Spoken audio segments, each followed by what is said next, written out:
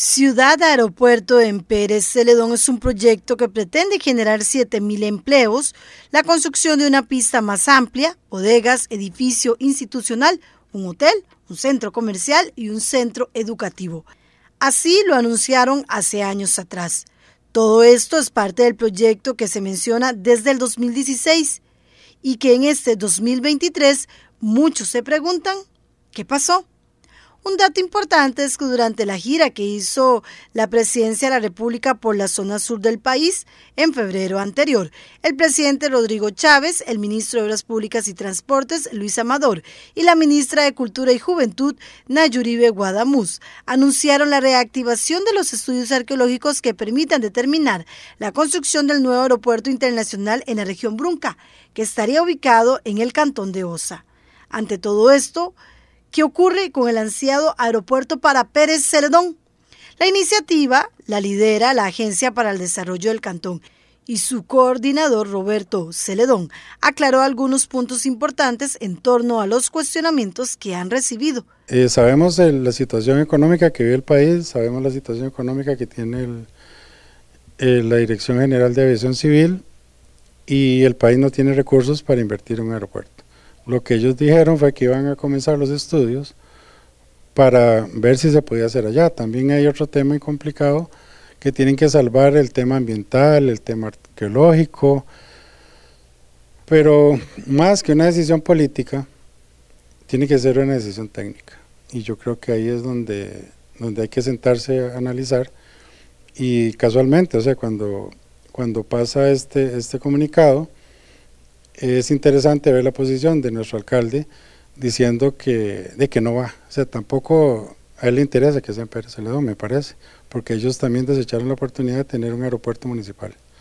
Cuando ya una SPEM, por acuerdo municipal, estaba para ratificarse y no lo quisieron hacer, no quisieron inscribir la, la SPEM. Celedón precisa que todo inició con un aeropuerto municipal, lo cual ya no se da. Y en el caso de OSA apenas se habla de estudios, no de la inversión. La iniciativa inició con un aeropuerto municipal, entonces hay que cambiar la figura y hacer un aeropuerto que efectivamente, digamos, en este momento no, es, no hay una iniciativa privada presentada a aviación civil, pero tampoco está, hay un, en el Plan Nacional de Desarrollo, lo que está es un aeropuerto para la zona sur no dicen exactamente dónde. Y lo que anunció el ministro fue que iban a hacer los estudios para ver si se podía seguir la iniciativa que ya estaba presentada hace muchísimos años en el cantón de Osa. Pero eso tampoco nos limita a nosotros, eh, Carmen, para nada, en, en, seguir tratando de que el aeropuerto llegue acá con inversión privada. ¿Pero para cuándo, Roberto? Es la pregunta. Es que, vamos a ver, Carmen, el actor no es la agencia. La agencia lo que hace es tratar de que las cosas se den. Entonces el actor aquí tendría que ser aviación civil, tendría que ser un operador del aeropuerto, que hay mucha gente que está interesada, y, y hay una gente ahí que está interesada también en invertir ahorita.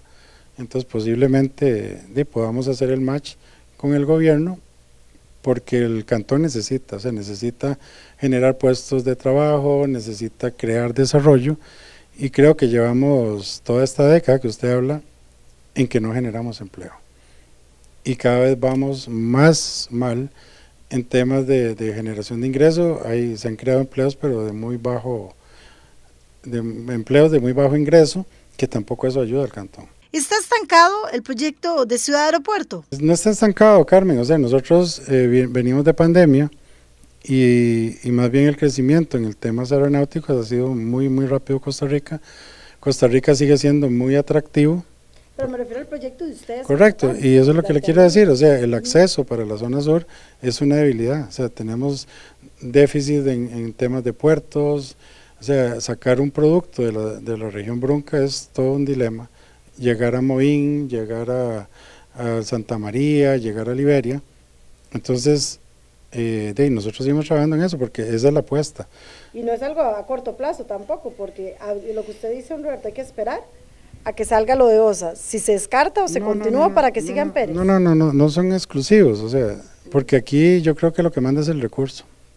O sea, el que tenga el dinero para hacerlo y que quiera invertir, yo creo que se tiene la prioridad. Y el Estado no va a negarse a hacer una inversión perdón, a, provocar que se haga una inversión de esa magnitud. Eso sí, reconoce que si el proyecto se hace en OSA como agencia, lo apoyan, pero que también como agencia siguen buscando opciones de desarrollo para el cantón. Por ejemplo, destaca la instalación de un call center aquí y no en otras partes del país. Asimismo, buscan que se mejore el dominio del idioma inglés y formación de profesionales, por lo que consideran que el trabajo no se termina, que se sigue también con iniciativas importantes. Nosotros seguimos trabajando con con los inversionistas eh, de hacer el cantón atractivo a la inversión. Eh, de, nuestro trabajo, o sea, seguir trabajando. Pero también, Carmen, eh, esto también pasa por el tema educativo, necesitamos formar jóvenes en, de lo que el cantón es bueno, en el tema agro, en el tema de servicios, fortalecer el inglés. Entonces es una lucha de todos los días, o sea, nosotros no desmayamos. Este proyecto no es de la agencia, no es de, los miembros de la junta directiva, es un tema los cantón. bastante, porque la gente espera ya resultados. Sí, pero, pero Carmen, es que a veces no se empoderan del tema, digamos. Vamos a ver, la agencia, vamos a ver, ¿para qué quiere un, unas bodegas? O sea, necesitamos empresarios que quieran desarrollar bodegas para poder traer inversión. Y también necesitamos de que la gente que ya está en el cantón, que está instalada, o gente que quiera venir, quiera apropiarse de eso, porque la agencia simplemente es un catalizador.